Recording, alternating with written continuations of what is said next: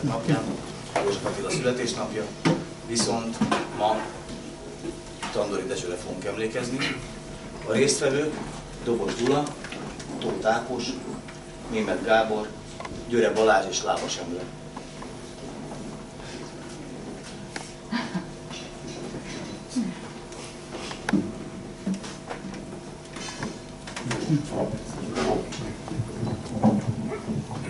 Úgy látom, hogy úgy érzed, hogy ezzel be is fejezted magad. Ennyi. Egyelőre, jó. Tehát eh, a társaság olyan szempontból nem a legjobb, hogy itt, itt, itt, itt mindenki Tandori jó barátja volt.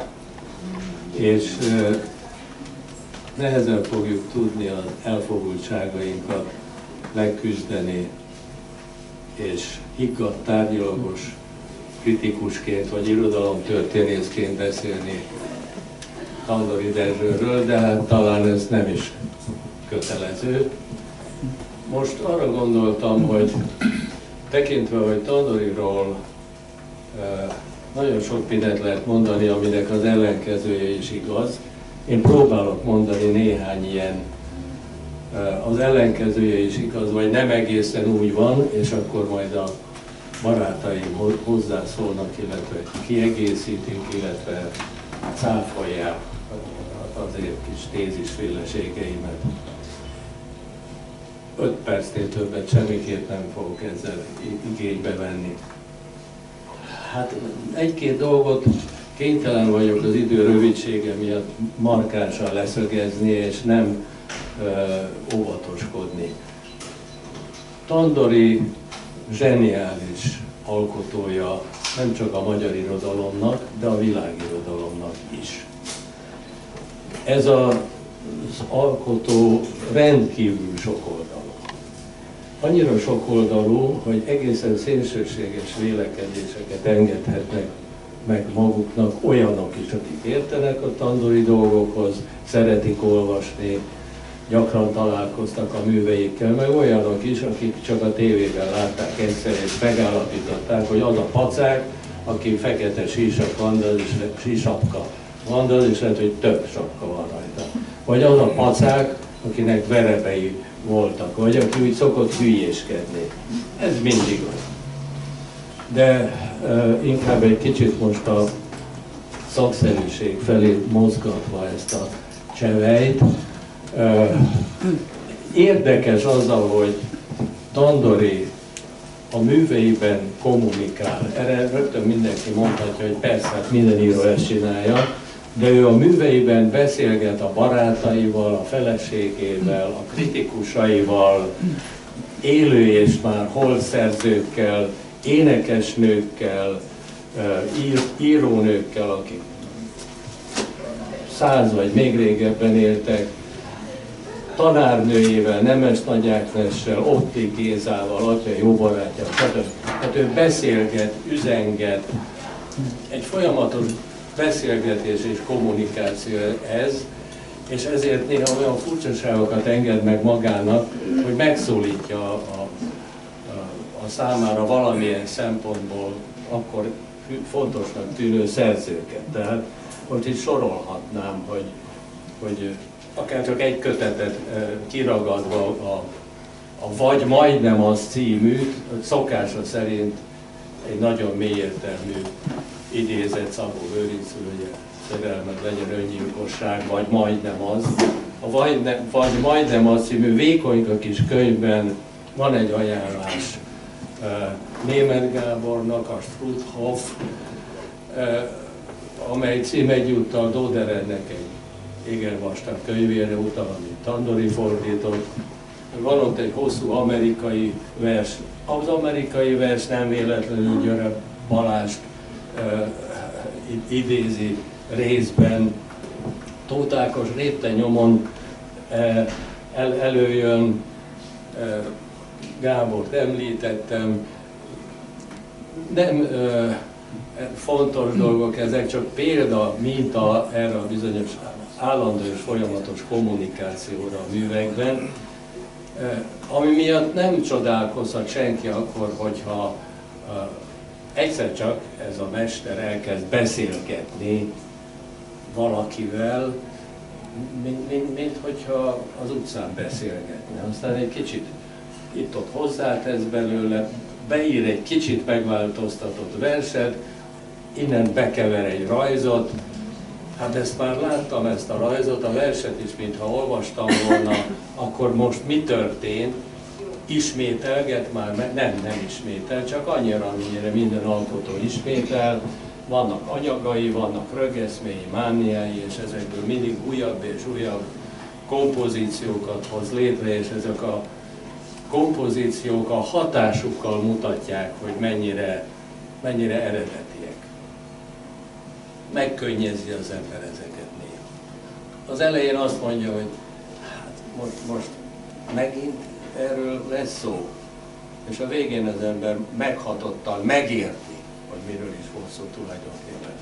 De egy kicsit gyorsabbra véve ezt a bevezetőt, következetes nála a szöveg, szövegként történő felfogása, erről beszél évtizedek óta a nyelvészet és az irodalomtudomány, és a szerzők is, de Tandorinál ez roppant következetes, ami nem jelenti azt, hogy nem mindig valamiről van szó. Tehát szó sincs arról, hogy van üresen a szöveg. Valamiről van mindig szó, és ez a valami nála óriási súlyú, érzelmi, intellektuális podgyász a művekben. Miközben formai keresgélések jellemzik, formai virtuozitás. Nagyon érdekes, hogy ehhez valami olyan gyermeki tisztaság, egyszerűség, néha naív humor elegyedik, néha, máskor igen mély értelmű bölcsesség, hogy azt mondanák, hogy hát ilyet én is tudok, ez, ez vicc. Szobámban fáradtan döng egy őszi légy. Te döngsz így, ő döng. Na, ez is egy vicc tandok, ugye? A, ez a végletekig vitt egyszerűség az, ami szerintem közel hozta őt szép Ernőhöz. Tehát amiért annyira megszerette szép Ernő.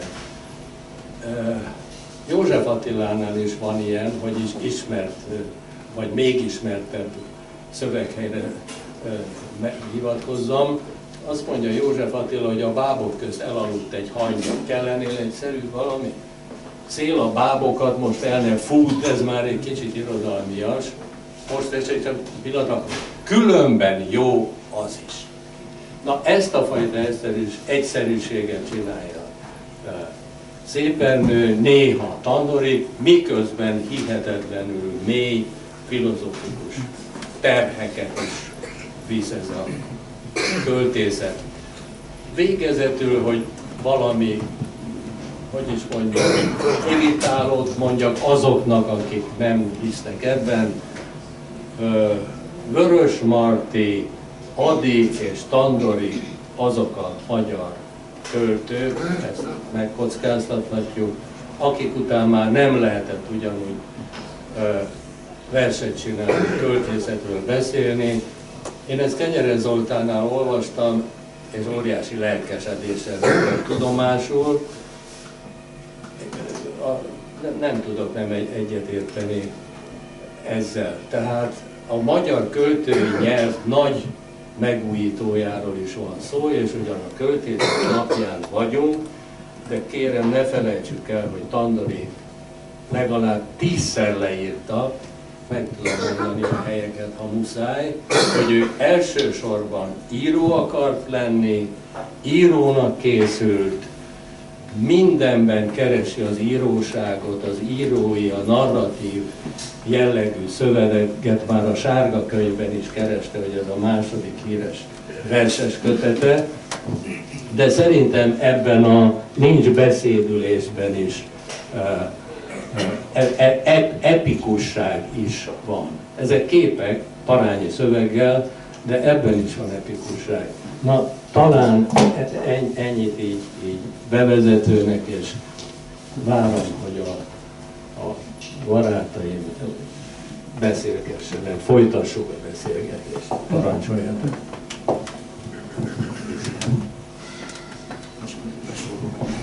Ákos, azért ne úzd meg ezt a második megszólalást talán, mert az utóbbi időben a Tiszatájnál sok fontos könyv kapcsolatban bábáskodtál, és esetleg erről mondjál. Köszöntök mindenkit! Zavarban vagyok én, mert, mert mindig zavarban vagyok, akkor ez van, de hogy egyébként meg nem tudom milyen minőségemben ülök itt, mert egyrészt lehet, hogy mind a, legalább hármat tudok összeszámolni, ami a Dezső Andori Dezsővel kapcsolatos. Az egyik az, hogy a, a, ami, amit mondott a Gyula, és amit, aminek, ami, ami úgy, van, úgy volt, hogy a barátja voltam. A másik, hogy erről nagyon nehéz lenne beszélni. A másik, hogy hát én tandori kutató, ha valami, valami kutató vagyok, akkor tandori kutató. Tehát írtam róla mondjuk egy doktori diszertációt, amit lassan ki kéne majd adni. Ültem rajta lassan tíz évet. Megvédtem, tehát megvédtem, rendben van, csak hogy mindig azt gondoltam, hogy úgy nem jó. És most nagyon, az, az elég fájdalmas, hogy Dezső életében nem jelent meg. Persze az utolsó betűig ismerte, megkapta, ott volt nála, és uh, szépeket is mondott róla meg. De hát nem, nem jelent meg meg kéne jelentetni. A, a harmadik, meg ami a legérdekesebb szerintem, amiről én tudok beszélni, az a, hogy szerkesztője voltam jó pár kötetének, de a, ebben minden, minden benne volt. Tehát, szerintem a Tandori összes igazi szerkesztője, itt Keszthelyi Rezsőt kéne megemlíteni mindenképpen, aki sok, sok, sok, le, sok legfontosabb kötetének volt a szerkesztője a Magvetőnél. H. János, ugye a holnap, holnap kiadós köteteinek a szerkesztője, Móra kiadónál a gyerekkötetek szerkesztőit, Tia Szódiéva, és sokakat nyilván, akiket most nem említettem meg, de mindegyiküktől tanultam sokat, hogy, hogy hogy kell, meg hogy nem kell a Tandori Dezsőt szerkeszteni. És hát ez az utolsó kötet, ez nem utolsó kötetnek készült, természetesen, de de olyan szempontból azért utólag mindenféle misztika kizárásával azért Dezső ezt a kötetet, Tandori ezt a kötetet, soron volt egy kötetének a kiadása, egy írásbeliség és írásjeliség című kötetnek a megjelentetése, ami, ha, ha valaki követte az ő publikációit, akkor le, tudják, hogy miről van szó. Ezek, ezek olyan művek, rajzok, és főképp írások és, és kézírások, amik egyszer csak átváltanak a, a, az írás grafikai lehetőségei kihasználó rajzokba, és az ember belenéz. És ebből, e, ebből ez egy jó hosszú kötet lett volna, ahol, ahol végletesen zavarba hozzuk az olvasót. És a Tandori azt hiszem augusztusban, tavaly augusztusban fölhívott és mondta, hogy jön majd egy nagy pak, és ez az új kötet, és az előzőt azt most hagyjuk hagyjuk, felejtsük el.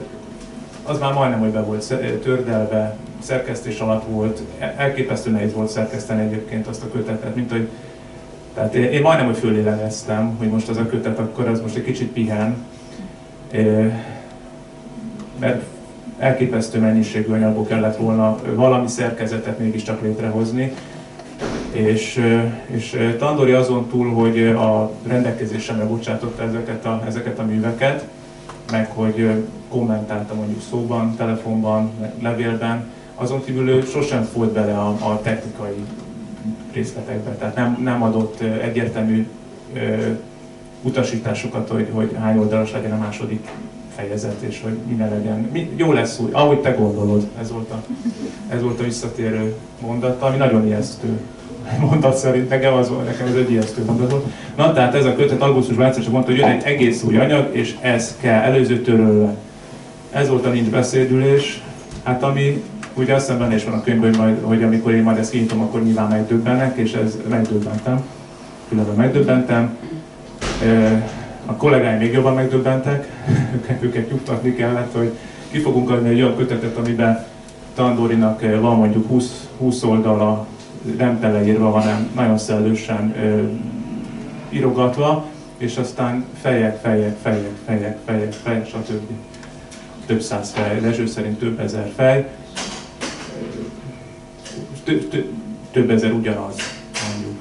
És hát a szerkesztőként annyiban tudtam hozzájárulni, hogy, hogy ehhez, hogy, hogy szerettem volna, hogy a kötet valahogy olyan legyen, amilyen végül azt hiszem lett, hogy, hogy ne, ne, ne, ne tűnjön úgy, mintha Tandorina, tehát ne legyen egy album, ne legyen egy kétszínűszeti album, mert akkor azt hiszem, hogy nagyon, nagyon hamis elvárás felé irányítottuk volna az olvasókat, és ne legyen egy, ne legyen egy, egy írónak a rajzkönyve, hanem valami, valami önálló mű, műnek tetsző tárgyá váljon, és hát ezért megtettünk mindent, és, és és a Dezső ennek a könyvnek örült egyébként nagyon. Annyit hagyd mondjak még, ez, ez, ez, ez, ez szerintem talán önöknek itt érdekes, hogy volt a, a természetesen Szegeden az irodalommal foglalkozó intézményeknek a, a házigazdája, meg igazgatói, Erdélyi Ágnes név szerintem, amit többeknek azért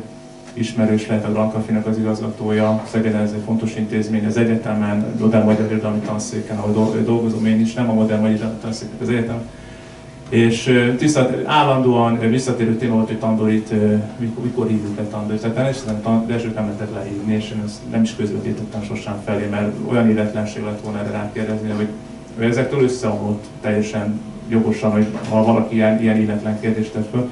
Ugyanakkor a Ház Robert nevű főszerkesztőm a tudatlanok biztonságérzetével egyszerre megkérdezte, hogy, hogy hát ugye a könyv, ennek a könyvnek a bemutatóján Szegeden ő hogyan szeretne részt venni.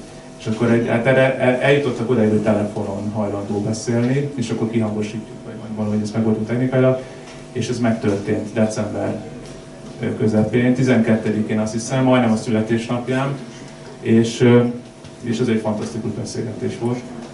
A valószínűleg utolsó nyilvános föllépése, a szobájából, szobája rejtekéből beszélt hozzánk, és sokféle veszélyesekedett a beszélgetésre, mert az elején például elkezdett csuklani. És mondta, hogy akkor gyerekek lehet, hogy itt a vége. Aztán, aztán egyre jobban belejött, körbe volt téve papírokkal, azt mondta, és hogy majd, majd azokból ő felolvas. És akkor felolvasott, és akkor kommentálta őket, és, és, és ez nagyon jó beszélgetés volt. Nem, nem volt beszélgetés, mert nem beszéltem. Ő beszélgetett, és, és akik ott vannak, az ott voltak, az a 30-40 ember, azok, azok mai napig emlegetik. És hát, hogy Tandorihoz szül legyen az egész, de sajnos nem lett rögzítve. Sajnos nem lett rögzítve, úgyhogy ez egy ilyen porba írt, gyönyörű, utolsó valami volt, búcsú, nem tudom mi volt, de azóta ez el, elvitte a, por, el, elvitte a szél, és emlékszünk rá, akik ott voltunk. jó napot kívánok, viszont valamit nem vitt el a szél, tehát hoztam néhány hangfelvételt, mert volt szerencsém vele két, két műsort is csinálni a Magyar Rádióban 90-es években. Az egyiknek az volt a címe, hogy DJ Otlik, ahol a, ahol a kedvenc, úgy, és na, nagyon a populáris kultúrához nagyon erős és normális viszonya volt, egyébként lehet, hogy erről érdemes bizonyos értelemben említetted ezt, tehát hogy nem volt személyi válogató ilyen szempontból, tehát hogy uh, hiszen univerzális volt, és uh, egyáltalán nem tett értékkülönbséget, mert az egészet egy több két ember jut eszembe erről a fajta vonzalomról a, a, a szegény anyag irányába, a, a Bajsz és, és az Erdély Miklós, tehát hogy mondjuk kátrányból is lehet nemes képzőszeti alkotást csinálni, vagy hogy a zsír az lehet anyaga a művészetnek, vagy a filc. Ilyen a tandori próza, a tandori világa ilyen szerintem, és így jönnek be azok a populárisnak számító felvételek, amik az ő számára már-már szakrális, de minimum metafizikus jelentőségek voltak és a, a DJ Otlik az egy ilyen műsor volt, hogy azt kértem tőle, hogy a éppeni kedvenc zenéit hozza el a rádióba, és közben beszéljen egy kicsit. És most azt javaslom, hogy hallgassuk meg őt, hogy hogy indult ez a műsor, azt fogja elmagyarázni tulajdonképpen, hogy hogy mi, mi is ez a cím, tehát hogy miért DJ Otlik. Akkor 3 per 30. Igen, 3.30. Ez az eleje. De tudunk ugrani? Szóval akkor szinte azonnal kész voltál a címmel. Hogy az a cím, hogy DJ Otlik. Lehet ezt hallani? Miért? Otlik Buda című regényében mulatságos és szépséges epizód, azért megemlékezés 1945 szilveszteréről, amikor a rádiónál dolgozott, és következőképpen emlékezik meg erről. A rádió Sándor utca épületében tánclemezeket rakosgattam, itt a válasz, a széles dupla gramofonra, tehát diszkcsoki volt Otlik ugye akkor. Egy árva lélek sem volt rajtam kívül írja Otlik a nagy épületben, 45-ben ugyanis felvettek munkatársnak a rádió műsor szerkesztő osztályába. A szilveszter estét mindenki a családjával szerette volna tölteni, de valakinek, legalább egy embernek bent kellett maradni a szilveszter éjszakai tánczene közvetítéséhez. Rám ez sehogy se tartozott, de vállaltam helyettük mindenki örömére. Nem jóságból, nem kartási önzetlenségből. Egyedül akartam maradni. Ez jól sikerült, mondja. Szép ez a nem jóságból, nem kartási önzetlenségből. Nem is kell ott a számon kérni, hogy csupa jóság vagy kartási önzetlenség lett volna. Mindig azt mondta, hogy velünk fiatalabbakkal az, és az is volt. Még most voltában is azt, hogy ezt az ötletet adta nekem. Én meg azokkal a zenékkel, amelyeket szeretek, de nagyon, ám, azokkal voltam külföldön olyan jól egyedül, és közben mindig a te műsorodra gondoltam, meg a hallgatókra, vagy aki éppen most ezt érzékeli, hogy mi szól, meg mi hallatszik, azokra gondoltam, izgultam, hogy hogyan fog ez összeállni, és megismételtem persze sokkal könnyebb körülmények között az Ortig csokéságát és a, az én sztoriaimat. Azt mondja, hogy hallgatni volt kedvem magamban gondolkodni. És ö, leszóltak neki aztán évsekor a lakjegyről, vagy hajnal, vagy közcipi, közbébé, ugye nagyon jó volt. Ez megható, visszagondolunk rá, a nagy éjszakában leszólnak onnan a magasban, az úr hangja, ugye ott szépen. De biztos ment a Kumpalzita című szám is akkor éjjel, bár ő Csikitát említ, de hát a Kumpalzita az iskola határon állandó kísérő zenéje a fülünkben.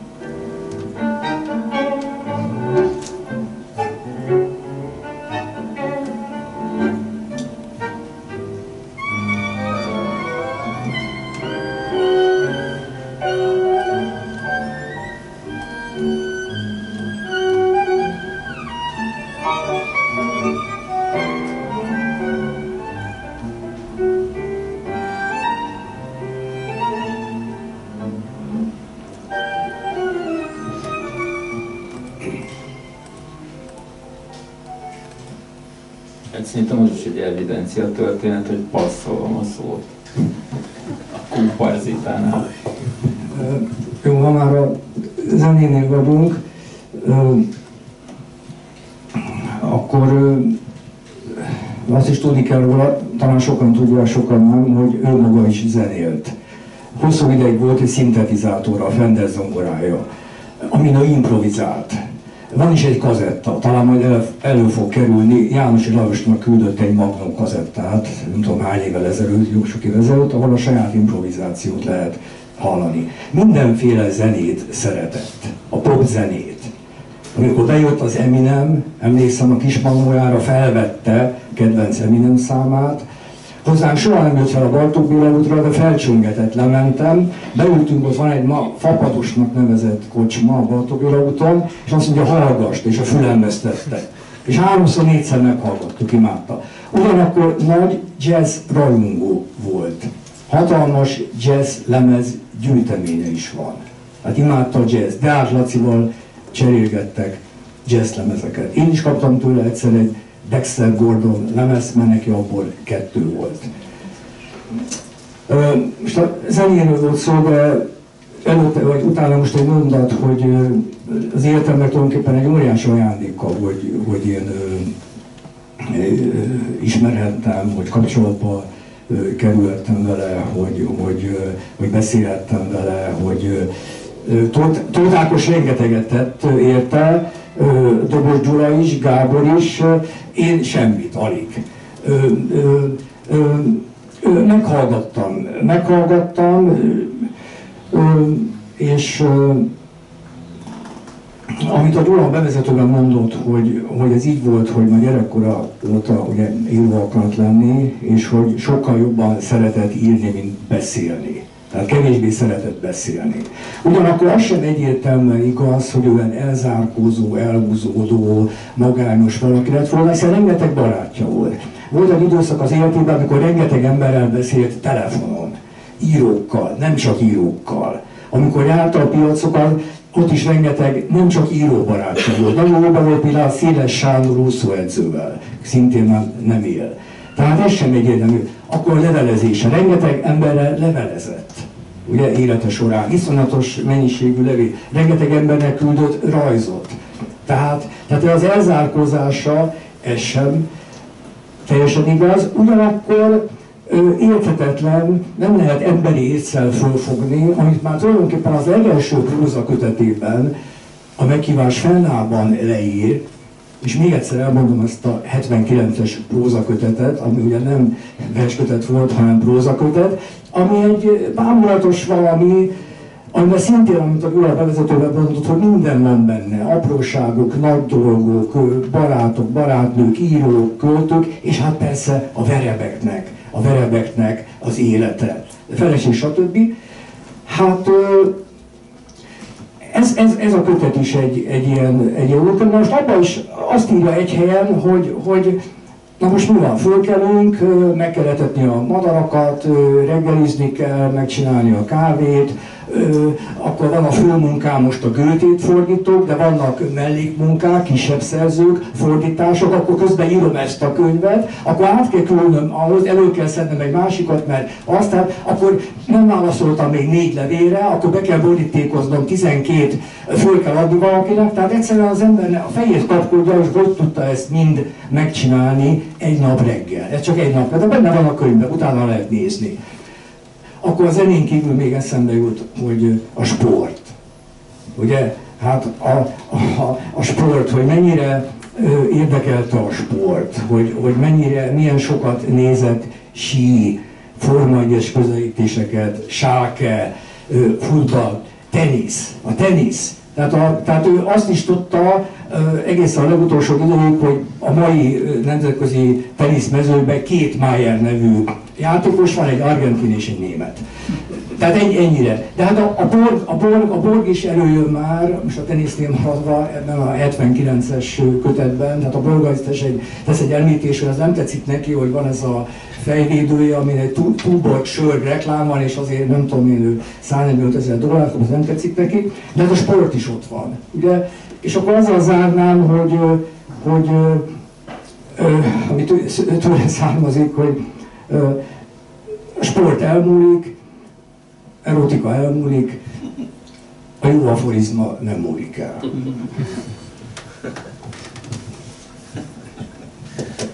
Én még a ballást hallgattam volna, de még nem akkor egy kicsit olyan jó lendületben vagy, és utána én esküszöm, hogy átveszem.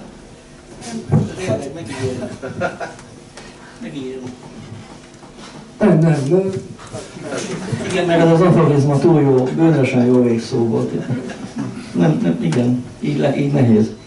Két dolog, a, egy másodperc alatt két dolgot, amit ö, egyrészt, hogy a, a, a, mikor én Budából elköltöztem, akkor két ember miatt gyászoltam Budát, egyébként nem vágyom vissza.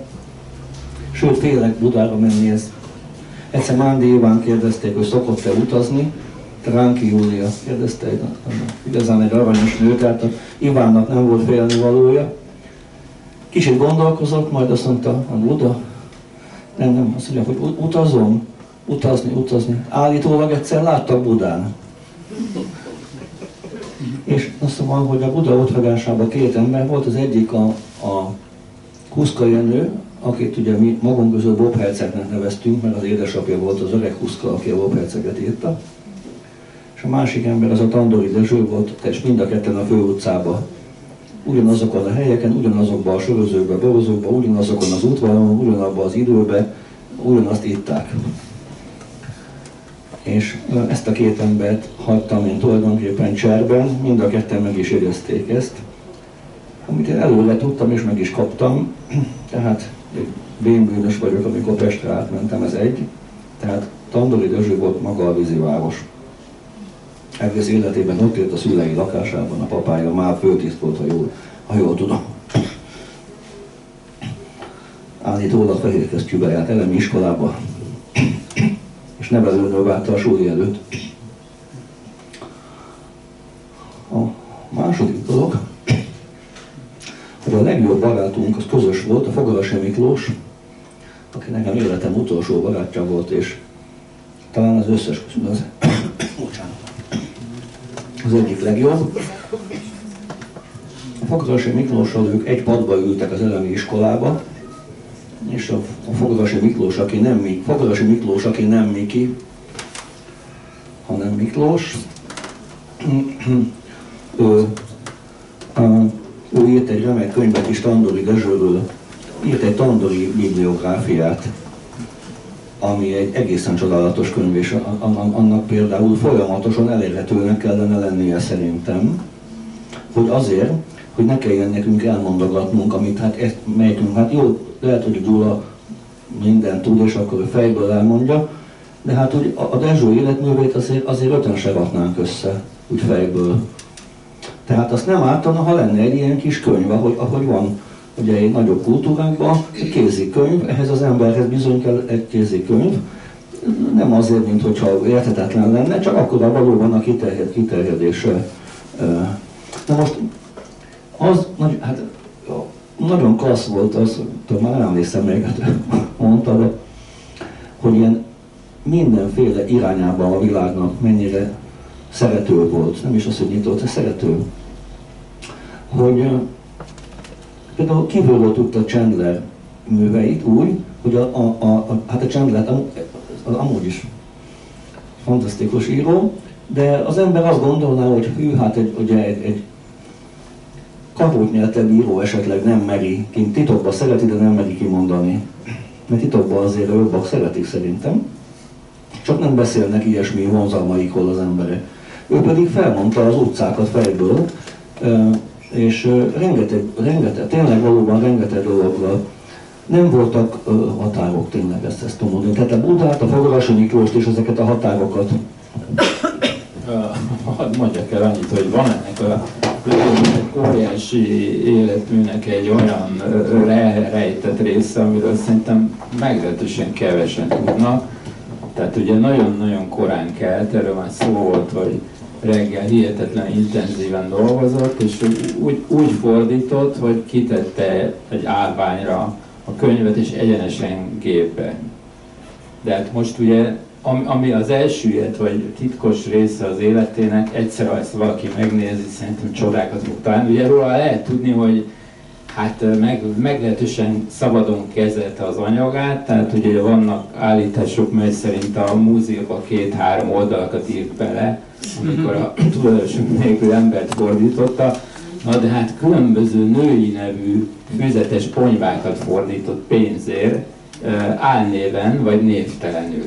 Tehát van a, van a magyar fordított kultúrában egy olyan szövegréteg, ami Roxana, Romána és nem tudom hasonló álnevekkel jelent meg, de azok tandori művek, el nem tudom képzelni, hogy ott miket improvizáltott bele ezekbe a szövegekbe.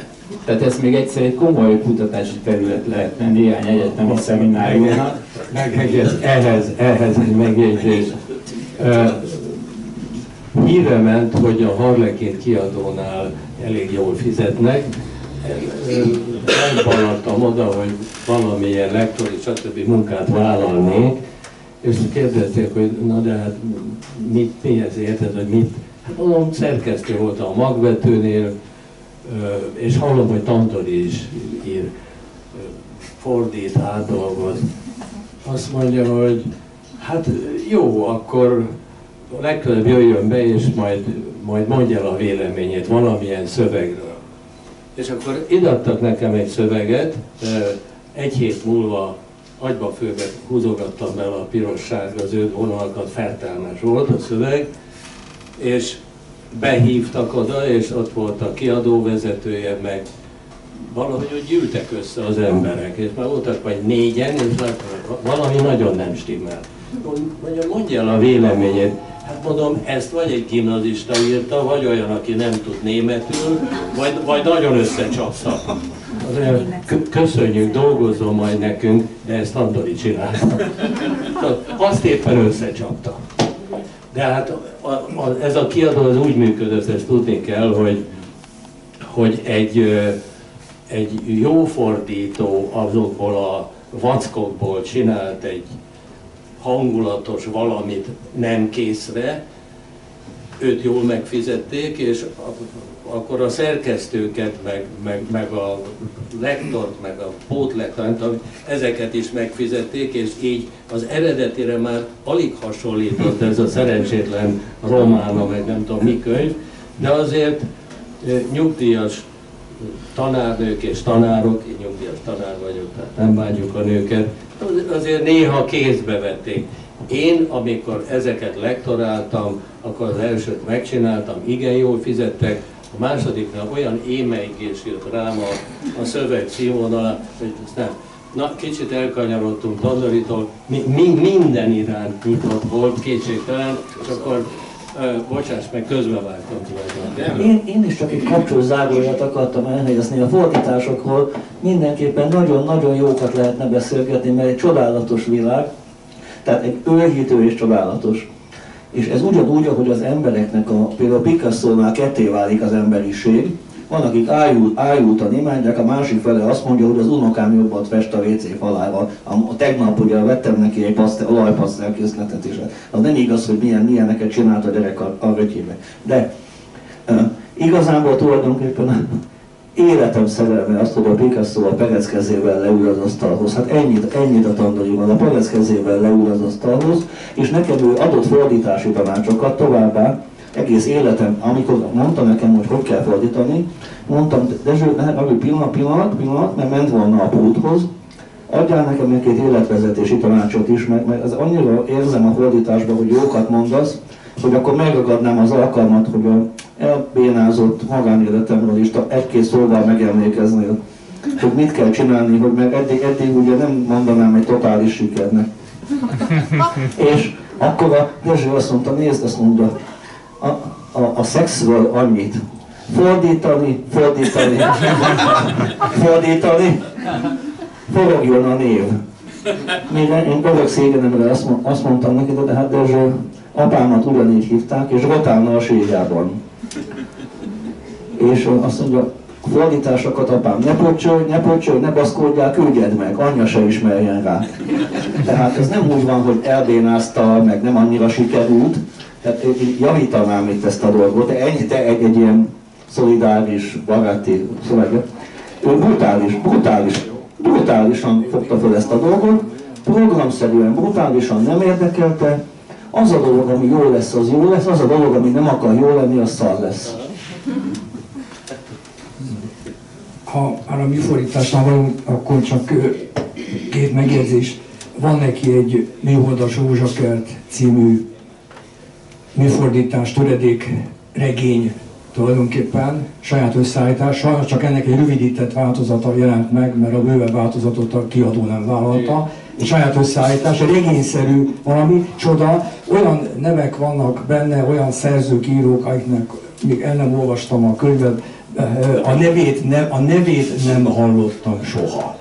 Vagy vagy csak egyszer-kétszer, vagy ha hallottam, és semmit nem olvastam tőle. A másik, amire felhívnám a, a figyelmet, mert amikor ez megjelent 94-ben nekem elkerülte teljesen, és a figyelmet is. Most olvasom, az Oderernek a Strudolf Lépcső című 51-ben megjelent regényét, amit egészen elképesztő nagy műnek tartok, és ö, Tandori Dezsőnek úgy érzem ebbe egy olyan, így kell mondanom, olyan nyelvet kellett megteremteni, olyan nyelven kellett írni, olyan nyelven kellett fogalmazni, ami tulajdonképpen nem létezett, vagy nem létezik nálunk magyarul. Tehát egy olyan nyelv, egy olyan nyelven ír, olyan, annyira bonyolultak a Duderennek a, a mondatai, annyira nehezen felfoghatók, ö, többször el kell olvasni, az ember megértse, maga, maga a, a könyv is annyira szertágazó,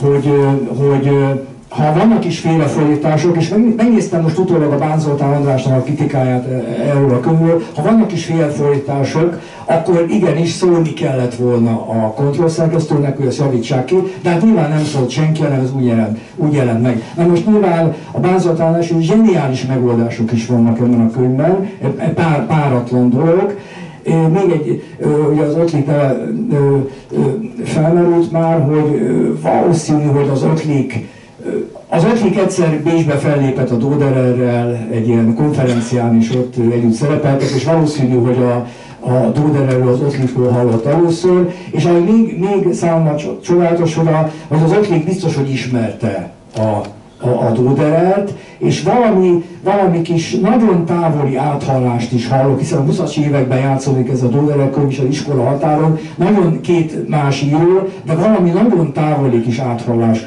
hallok, és még, még egy, amit szintén nem tudtam, hogy a Gábornak része volt annak idején ennek a könyvnek, a, mármint a magyar változatnak a meg, megjelenésével, jelenkor adta ki, ha jól tudom, e, e, ezt a, ezt a könyvet. Igen, annyi, annyi történt, hogy beszéltem a Dezsővel, és mondta, hogy tulajdonképpen ezt így lefordítaná, vagy hogy csinálja is, kvázi saját szórakozására ment, tehát hogy dolgozik ezzel, és akkor felhívtam a csoldás telefon, mint egy ilyen handlé, hogy mit szólna ahhoz, hogyha... Igen, és azt mondta, hogy de jó. Tehát ilyen egyszerűen mentek a dolgok, és kétségtelen, hogy utána ugye volt, volt ez, a, ez a történet, hogy hogy hát nem tudom, tehát elvileg szerkesztőként azt hiszem a Gábor szerepel a, a Dodererben. Én se érzékeltem uh, azt, hogy itt bármi probléma volna. Uh, tehát, hogy ez egy egészen csodálatos könyv. Hogy az ő, ő fordítói radikalitására jellemző, és akkor ezzel be, be is vezetnék egy bejátszást, hogy a, a to be or not to be, az tandoriul úgy hangzik, hogy vagy vagy, nem vagy.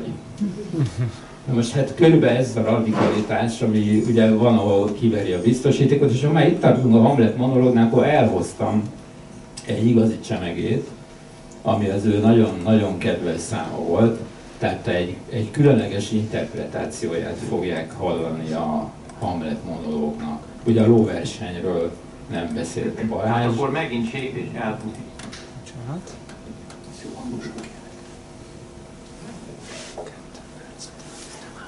Bocsánat. 250 Igen. Vannak. Most uh, lássunk hozzá. Hangosabb lenni? They are the post. To be or not to be outside. He's in. Name of action. They are all in.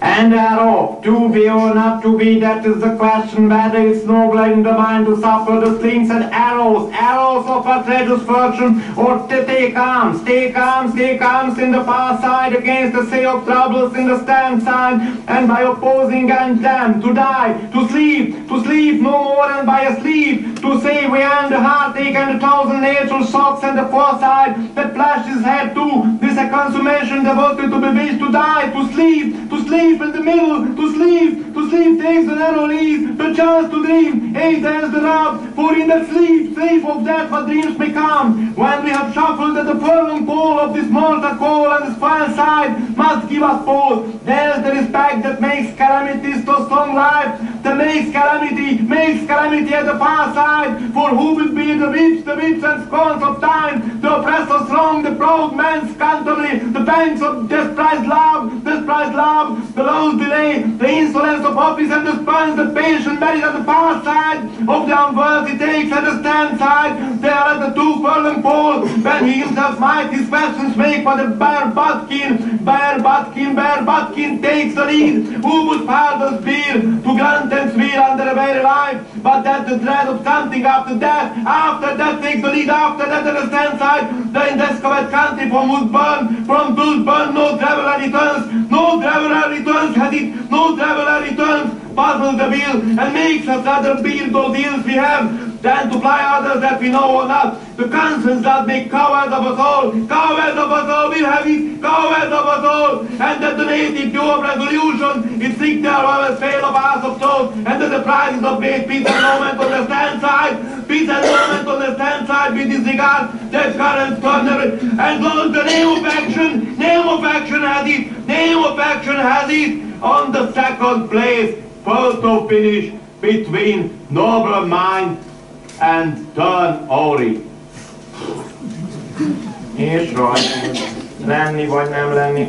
Ja, és akkor menjen. Az itt a kérdés, akkor nem ez a lélek, ha tűri balsorsa minden nyűgés nyajt, vagy ha kiszáll tenger fájdalma ellen, középen fegyvert ragadva véget vet neki, mindegyütt meghalni, elszunnyadni az éle, semmi több se egy álom által elvégezni, mint a szívkeservét, a szívkeservét beleerősít a testerezendő természetes rázkotatásait, hogy szélminő továbbhat a kegyes. Meghalni, meghalni középen, elszunnyadni és aludni, talán álmodni ez a rökenő, mert hogy mi álmok jönnek alában. Ha majd eláztuk minden földi bajt, ez visszadöbbent, el meggondolásod, mi a nyomortól hosszan élteti, mert kiviselni akar gúnycsapás, másik a második oszlopnál zsarnok hosszúját, gőgös embertöltét, útálterelme kinyát, fölhalasztás, fölhalasztás, fölhalasztás, a hivatalnak patkálásait, mind a rugát, melyen méltatlanok bántalmazzák a tűnő érdemet, fej, fej mellett nyugalomba küldetni magát. Egy pusztatőrrel még 50 yard kihordaná a terheket, izzadva nyögve élt a báladalmi, izzadva nyögve a korlátnál, ha rettegésünk egy halál utáni,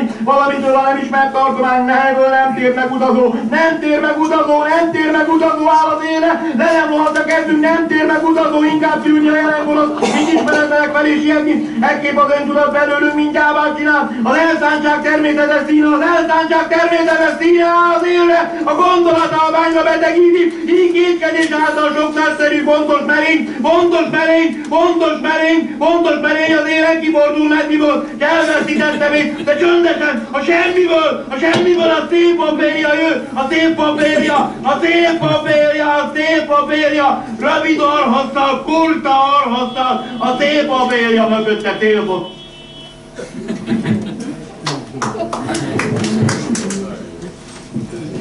Még az annyit, hogy tulajdonképpen ö, élvezetes, zseniális előadóestjei voltak a Kamra ö, gondolom a 90-es években lehetett ez, ahol egyedül ugye kiállt, nagyon összeszedetten, összeszerkesztetten, fejből ö, fantasztikus előadást csinált, kipakolta, elővette a táskát, kipakolta az órát, stb. és beszélt és mesélt, és tulajdonképpen egy bámulatra méltó ö, teljesítmény volt ez is, tehát tulajdonképpen ő, mint előadó, vagy színész, vagy ö, hát ö, igen, abszolút, abszolút volt, megáll, megállta volna, vagy megállta a helyét, aztán ebből is ő ugye, mi majdnem mindenből vissza, visszavonult, és tulajdonképpen sok mindent az íráson kívül, hát hogy ebben a szóval mondjam, nyűgnek érzett. Minden járulékos nyűgnek érzett. Ugye kezdve attól, hogy iskolába kell járni, hogy el kellett menni nyáron nyaralni, és a szülők ott hagyták, hogy vitorlázni kellett, hogy stb. Mind, mindez nyűg volt. Mi nem volt nyűg, az írás nem volt nyűg, és tulajdonképpen a madarak, a madarak az sem volt nyűg, ugye? Hát, egy teljesen más élőlényekkel élni egy fedél alatt, egy lakásban. Volt olyan időszak, amikor 15 madár. Gondolják el, gondoljátok el, hogy a, a lakásban 15 madárral, és emellett ő dolgozott, fordított, írt, élte az életét, barátkozott, telefonált, levelezett, rajzolt, és a kézművészetről még nem beszéltünk. Olyan festőket fedezett föl, fedeztek fel a feleségével együtt a 70-es évek végén, akikről még most nincs igazán fogalmam, Wolves, Dubuffet, Morris Graves, stb. Akkor a Schwitterset nagyon, nagyon szeret, stb. Tehát, a, tehát, tehát volt egy ilyen kézművészeti, és nem, és nem beszélve a magyar a kortás festőkről, akivel szintén jóba volt, rengeteg festménye is van, képe is van. Baranyai, Veszelszki, Keserű Ilona, kornis. és a Kornis, persze. Bocsássatok, csak annyit félek, hogy elfelejtem később, hogy hát a, a kortárs magyar irodalomtudomány és művészettudomány kiválósága. Nem ahhoz képest, hogy költő, meg ahhoz képest, hogy prózaíró, műfaj, stb., hanem abszolút értelemben a legkiválóbban képzett szakemberek között is valahol fönt. Az eredeti meglátásaival és az óriási műveltségével. Hát ő nem csak azért mászkált külföldre, mert lóversenyezett, stb. Nem, hanem hogy, hogy, hogy mázsa számra cipelje haza az Artfórumot, meg az Art ami nem volt olcsó mulatság, akkor sem.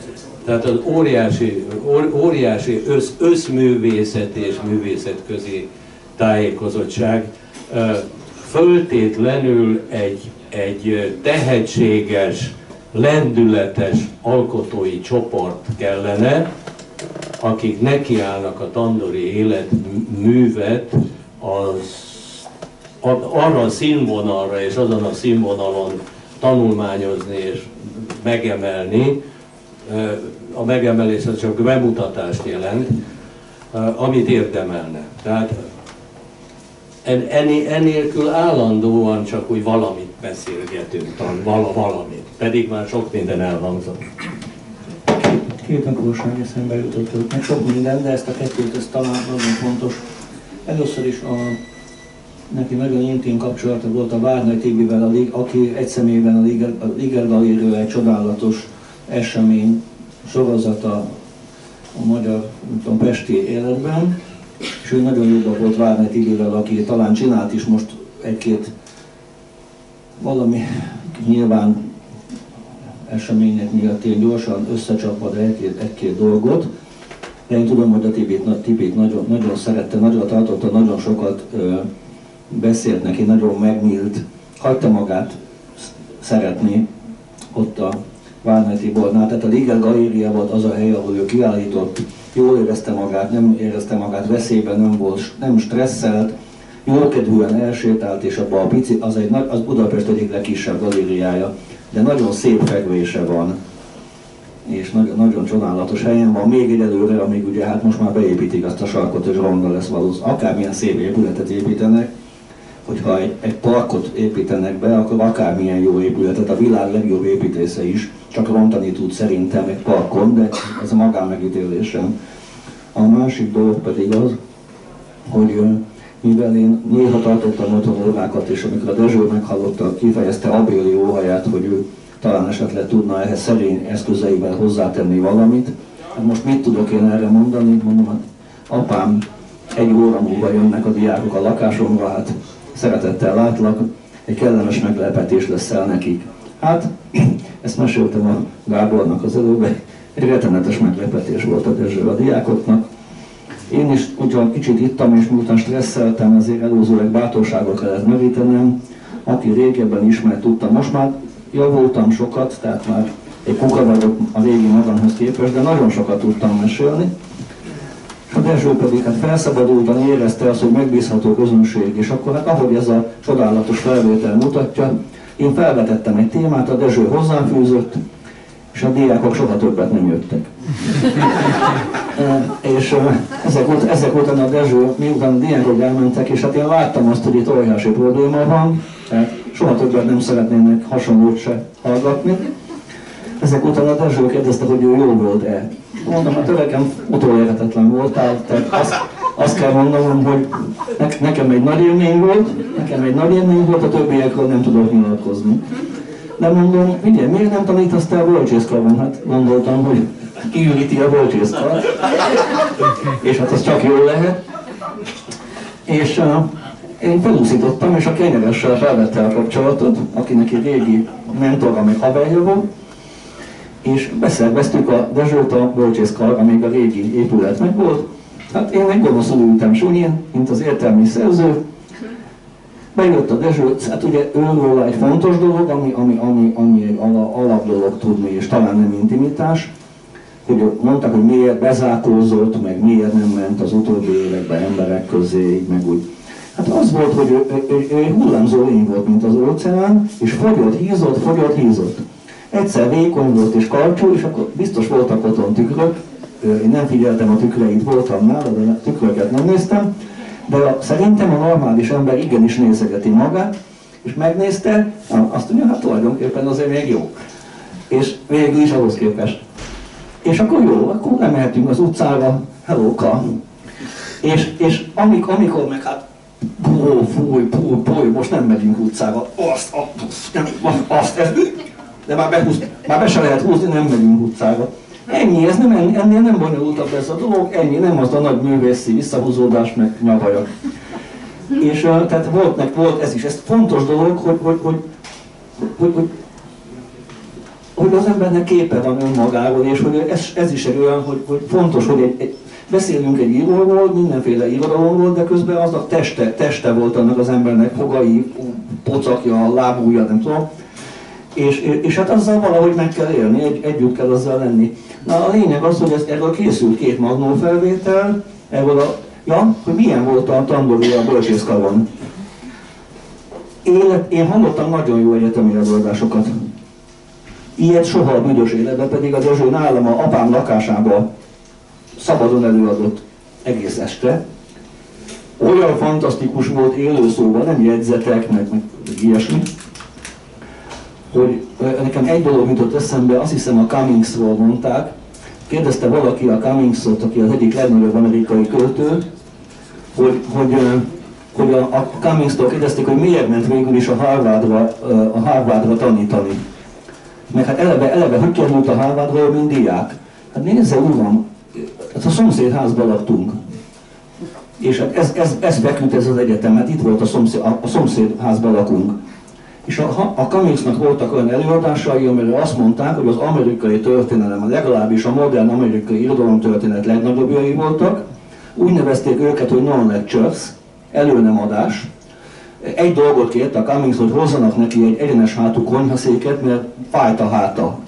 Akkor a diákok behozták az egyenes hátú konyhaszéket, a Cummings pedig felolvasott a saját verseiből, meg a haverjainak a verseiből, meg troubadour meg kínaiakat, és az a nemzedék, akit ő nevelt, azt később úgy hívták, hogy a beat nemzedék. Na most én ezt mondtam a Dezsőnek, hogy apám, milyen voltam, jó, meg, meg szoktam mindig kérdezni, tehát mint a primadonna, milyen voltam, jó voltam, jó voltam.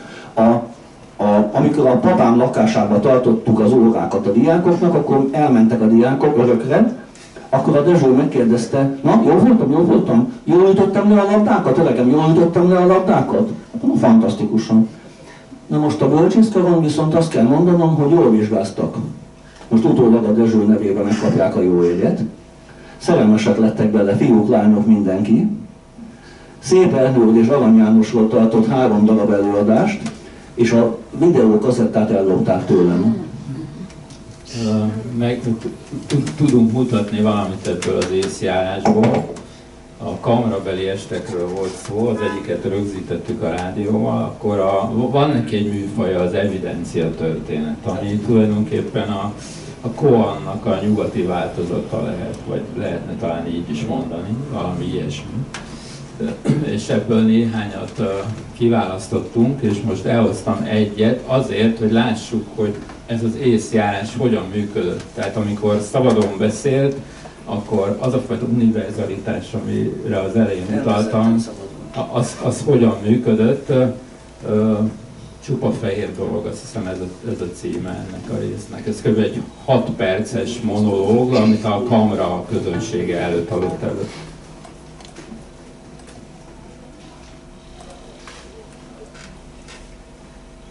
Talán valami 17-54, ugye?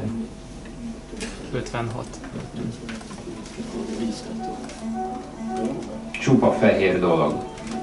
Az ember elmentett Krémé nevű negyedbe. Szürke nap volt, borús éggel, és építkeztek ott a történetesen úgy hívják, hogy Krémé negyed. Minden, valahogy hívják. És ott sétálgattam, és valami jött az égen, valami nagy fehér. Ugye, mint a szép erdőnél, hogy angyal, a szárnyas angyal, nem ugye? Szép erdői stílusban. És mi lehet ez a nagy fehér dolog? egy, hát én frankocelnek neveztem, mert hungarocel nem lehetett Párizsban. Én göngyöleg anyag. Építkeztek, és valamiről elszabadult, nagy szél volt, és levegett. Látszott, hogy angyal formája van, két nagy fehér szárnya, ugye? Ez izgatni kezdett engem, hogy valami legyen.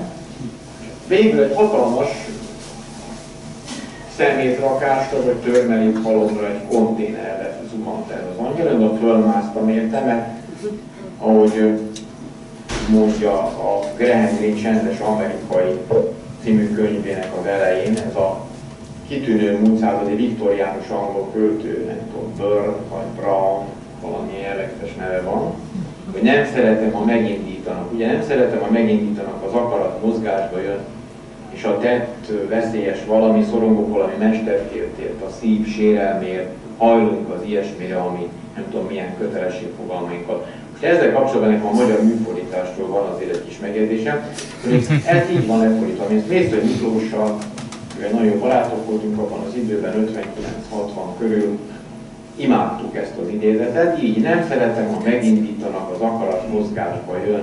Most ez kiderült, hogy ez egy hexameter. És a magyar műfordítás, amely ilyen büszke magára, amilyen, 1958 körül produkálta ezt, hogy nem vette észre a fordító, hogy ez hexameter. És le is jött a csendes Amerika elején, hogy nem tudták megoldani, de belenyugodtak. Úgyhogy sok álmatlan órámat elkerülhetném a maga rosszul sikerült fordításai miatt, ha erre gondolnék, és ez vigasztalna, hogy azért nem olyan makulátlan ez a história. Én most meg is próbáltam lefordítani ezt hexameterre, sokkal rosszabb, így a Nem szeretem, ha megindítanak. Szóval engem is megindított az angyal, és az akarat mozgásba jött, ugye, és a kert veszélyes dolgok, mert föl kellett kapaszkodni. Ez mind eszembe jutott ott. Nekem ilyen irodalmi, irodalomcentrikus vagyok, ugye? És fölmásztam, leszettem az angyalt. És mi anyja legyen az angyal, egy ekkora nagy fehér cell. De akkor kezdődtek ilyenek, hogy ilyen estek, meg egyéb. Mondtam, Ausztriába ígérkezett egy ilyen est, hogy elviszem egy ilyen osztrák este, Táner Ilke is osztrák volt, nem minden angyal iszonyú, vagy valami ilyesmi. És ezt a nagy hungarország be se tudom csomagolni. És rossz volt a lelkismeretem, mi legyen az angyal, mi legyen vele.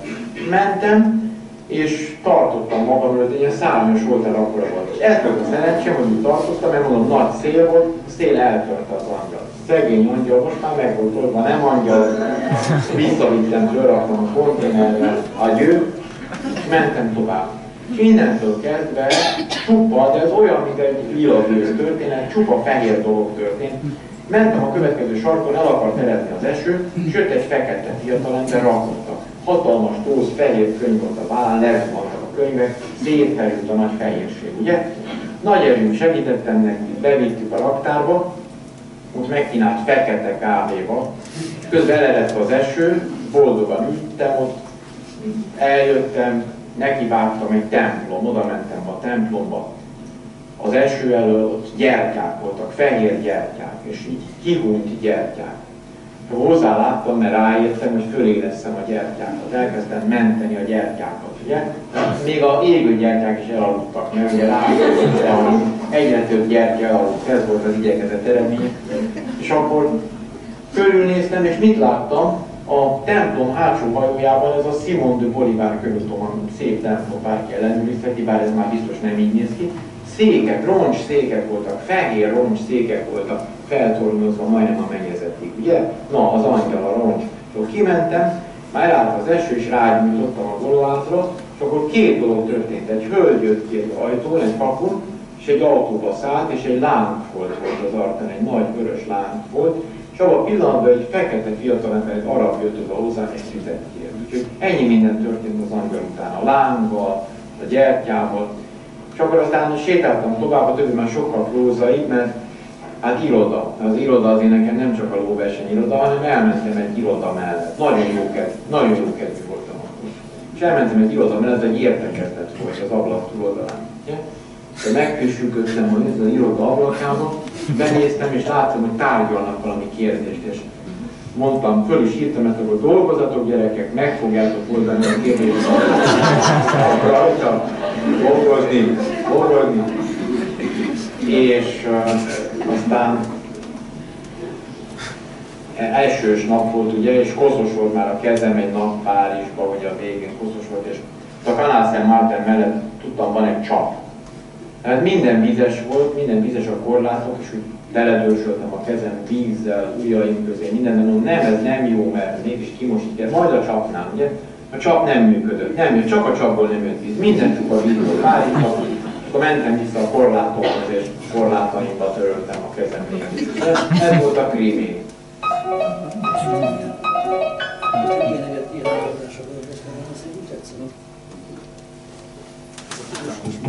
biztatos. Hogy ezek után most beszélni. Most beugrott a, a telefonban az, ember fülén egy telefon, és akkor ugyanez a ugyanez, és akkor tudtam, hogy majd erre egyszer emlékezni kéne, amiket mond, és, eh, és akkor most az a baj, hogy nem, nem az van, hogy nem emlékszem, hanem kb. mindenre emlékszem. Én mit mondjak el. Biztató, az, az konkrétabb, hogy mondjak valami biztató. Hát egy, egyrészt az eszembe csak eh, aztán elkanyarodtunk, de most én visszakanyarodok akkor hogy azért az, a, még, a, még az életében, nagyon is az életében már e, volt egy terv arra, hogy, a, hogy azok a képzőművészeti eszék, amiket a, itt felsorolt szerzőkről, vagy alkotókról, és főképp az amerikai 20. századnak a, a nagy alkotóiról írt, balkonba. Nem kizárólagosan, de legtöbb a balkonban jelent meg sorozatszerűen azokat, azokat összeszedték művészettörténész hölgy, Ul Gabriella összeszedte, és akkor a Dezsővel arról megállapodtak. A Dezsőnek nagyon örült, hogy ez a számára kicsit így a, a, a látóteréből kisodródott érdeklődésre így vissza, visszakerül majd könyvszerűen valahogy az életművébe. És, és a, a Gabriella, ő, ő aztán, ahogy, ebbe, ahogy ezt összegyűjtötte, egyre nagyobb, szóval egyre nagyobb lehetőségeket látott ebbe, és most úgy tudom, hogy ott tart a dolog, hogy azt mondta, hogy akkor össze kell szedni a magyarokat is, a, ugye van a Keserűről, meg a Baranyairól egy-egy kis monográfia-szerűség, de hogy azért ő, ő Nádlerről, Kokas Ignácról, Elkazovszkiról, mindenkiről, aki, aki, akitől arra érdemesnek meg aki az affinitása volt, ő írt itt a születésnapra, erre, arra, amarra, és, a, és most ez folyamatban van, és ez ilyen kötet előbb-utóbb egyszer lesz. És ezt szerintem nagyon fog ámulni a szakma, amikor ezt egybe, egybe leteszi valaki, mert ez, ez egy nagyon komoly, nagyon komoly dolog. A, a másik biztató, hogy, hogy a Tiszatája, ahol, ahol, ahol a Tandori sokkal hamarabb ott volt, mint hogy én ott voltam. Tehát az csak olyan szerencsés véletlenszerűség, hogy, hogy aztán ez így összeér. Ott, ott hát már áprilisi tisztatárban most hoztunk hat versét, amit ajánlok mindenki figyelmébe, azok a, azok a, a, nem szeretem ezt mondani, oda is írtam a kommentárba, hogy nem, nem akarok versenyezni semmilyen más irodalmi fórummal, hogy most az utolsó szövegei, vagy mert láttam, hogy volt, aki erre bejelentkezett, ez egész biztos, hogy, a, hogy ezek a legutolsó szövegei, ezek, ezek január végén születtek. Tehát a Tandori nem akart már verset írni, nem akart. Tehát ezt többször elmondta, hogy ő az úgy nincs, ahogy vannal, az tíz évvel ezelőtt jelent meg egy, egy elég, elég terjedelmes verses kötete, úgy gondolja, hogy, hogy, hogy ahhoz nem tud most hozzátenni, nem szeretne és nem tudna hozzátenni. Az más kérdés, hogy, hogy mi láthatjuk úgy, hogy a forizmák azok, azok vers. Én, én mindig úgy láttam, hogy azok, azok, azok a nem létező költészetének a folytatásai, és ezzel ellen nem tiltakozott, de azért volt egy ilyen, egy ilyen, egy ilyen tézis, hogy a költészetnek vége nála. De most az van, hogy az utolsó 3-4 hétben, illetve utolsó 3-4 hetében újra költő lett, és elkezdett verseket írni, és ezt a legnagyobb döbbenet előfogadta, azt ilyenek, ilyen levelek kísérletebe érkeztek, ilyen kisiskolás füzetszerű írkákba teleírva, egyik bal oldalon mindig rímekkel, a bal, jobb oldalon pedig mindig faltó fali prózaversekkel, és beszámolva vers 1, vers 2, vers 3, vers 37. Ha variáció, akkor vers 31 per A, 31 per B, tehát ilyen, ilyen rendszerető ember módjára érkezett három és fél füzet, körülbelül három és fél füzet, és, és önnek nagyon örült, és úgy értékelte, hogy, hogy ez valahogy visszatérés a, a, a valamelyik korszakához, azt nem mondtam, mert nem, nem ismeri melyikhez. Én azt gondolom, ha valaki ismeri, én azt gondolom, hogy 80-as évek végén írogatott ő hasonlókat, ilyen, ilyesmi verseket. Úgyhogy, na most igen, biztató, ezeknek, ezekből már hatott tető alá lehetett hozni. Nem volt egyszerű, mert, mert, mert nyilván nincs már kitől kérdezni, amikor ugye kézírá, ő már kéz, kézzel írt nem használ írógépet is elhagyta, vagy az írógép elhagyta őt, nem tudom, hogy, hogy pontos. És hát e, ez egy egész más szerkesztői munka, mint, mint mondjuk fél évvel ezelőtt. Helyette kell dönteni tényleg arról, hogy ez a szó, ez most az a szó, vagy nem az a szó, de sikerült, és sikerülni is fog. Ő tervezett egy könyvet, erről Szegeden nekünk beszámolt decemberben, A könyvnek az lesz a címe, hogy felplusztulás, leplusztulás. Plusz szó van benne mind a kettőben, remélem érthetően mondtam. És ez egy vegyes könyv lesz, ha, ha az lesz. Én bennem most nagy, nagy dilemmák is vannak, és majd hogy, hogy ő úgy tervezte ezt a kötetet, hogy ez egy olyan könyv lenne, amiben egyrészt Ottlikról szóló tanulmányai lennének benne. Az Ottlik az nagyon-nagyon nagyon utolsó hetekben Ottlik, Ottlikban élt, azt tudom mondani, állandóan őt emlegette. Utolsó összefüggő, hosszabb írása az Ottlikról szól, kortásban jelent meg. Van egy apropója, ami szerintem teljesen mellékes, egy, egy friss Ottlik kötet, egy friss Ottlikról szóló kötet, de lényegében, igen, de lényegében a Dezső a második bekezdés után elmondja az Ottlik élményét. É, igen, és tehát az, azt mondta, hogy gyűjtsük össze, az, nem az összeset, megmondta, hogy mi a szempont, 5-6 Ottlik tanulmány, azt mondta, hogy az, az a levél, amit a Holmi az megkérdezése nélkül ezt mindig hozzátette, de nagyon helyesen lehozott, amit ő 1959-ben írt Ottliknak, és nyilván a hagyatékban megmaradt, és valaki lehozta az, a Holmiban, hogy az, akár még az is bekerülhet ebbe a kötetbe, és ebben legyenek rajzok, az iskola határon figuráit rajzolta, mániákusan.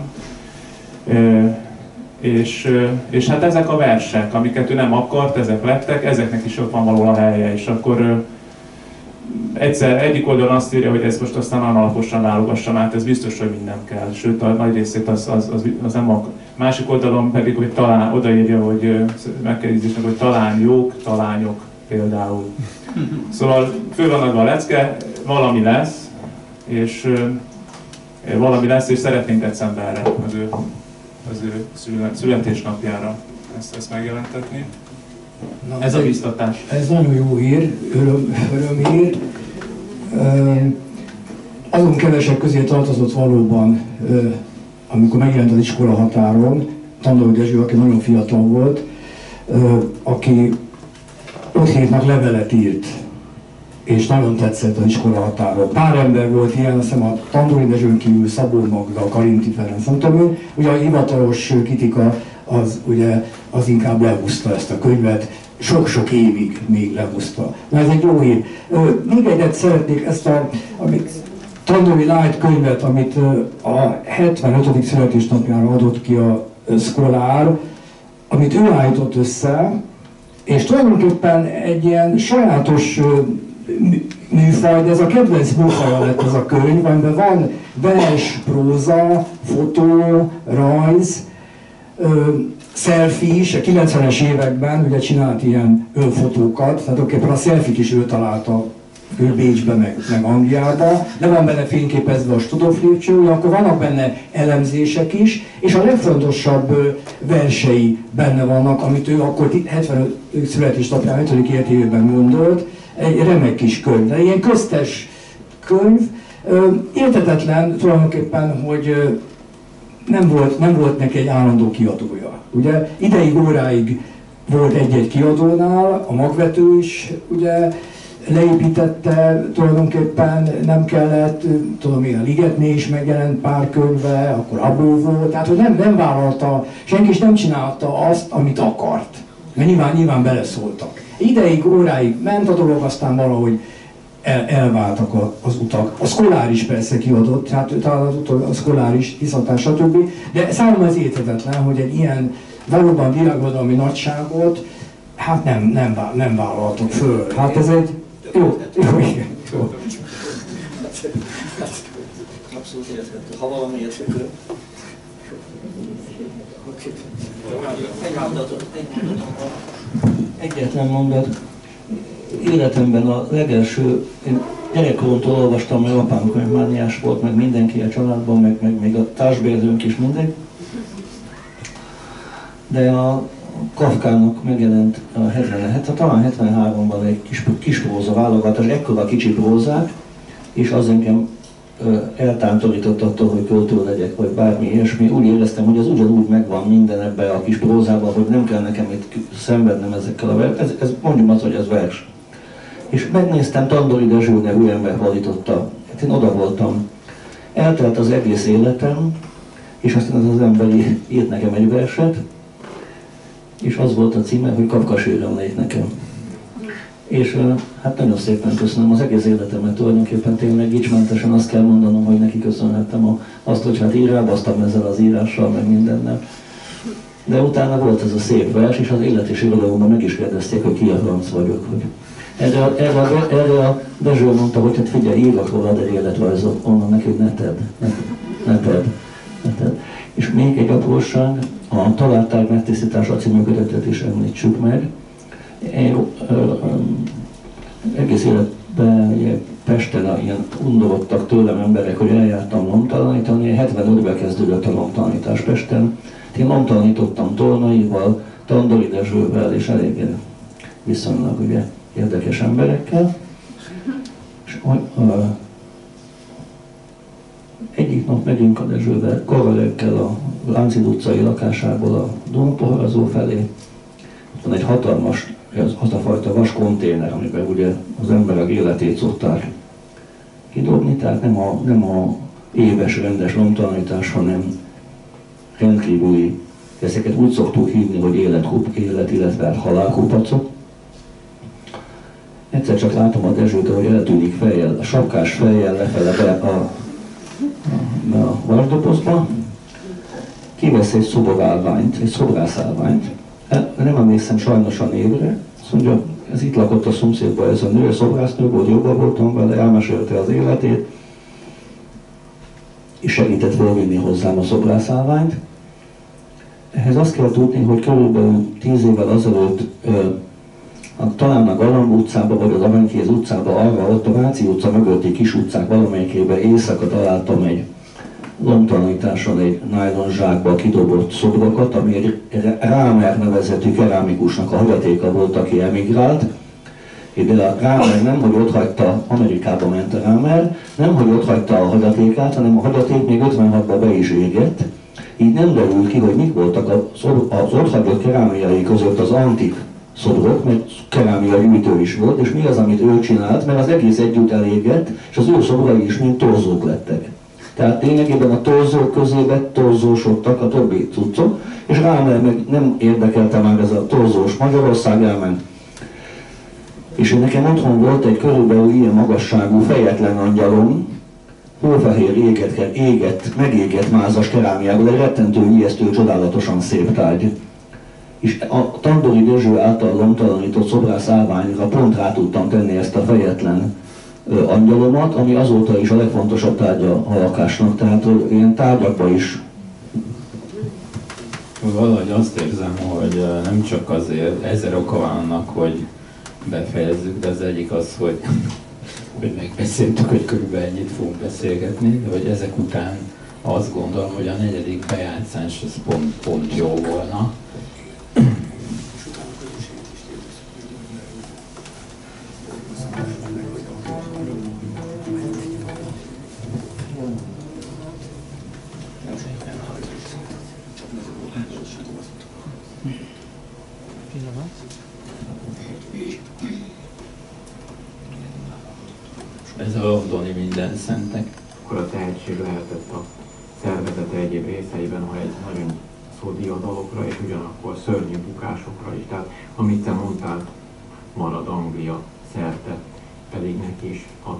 elszállásai voltak.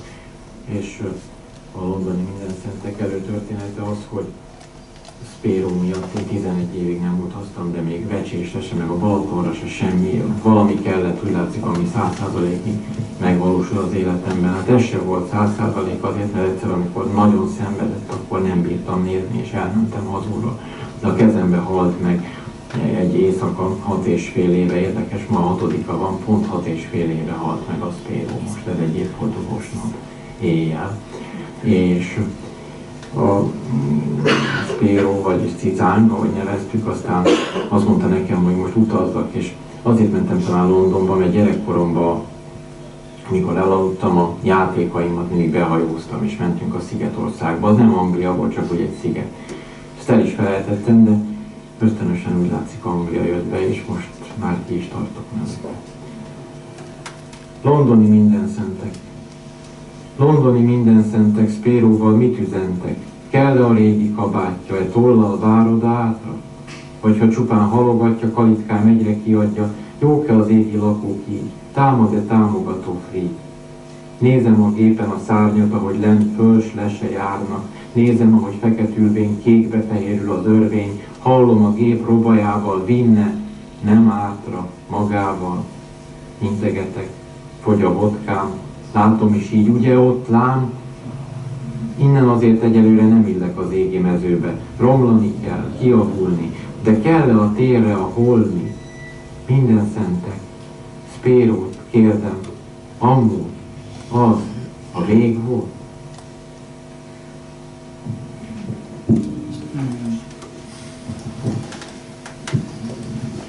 Köszönjük szépen. Meg kell kérdeznünk a jelenlévőket, hogy ö,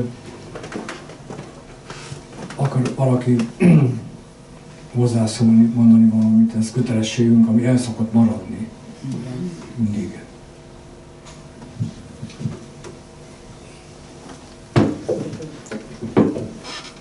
Mi köszönjük! Olyan szépen összefoglalták, hogy teljesen olyan fejtől volt. Tandori Dezsőért. Köszönjük!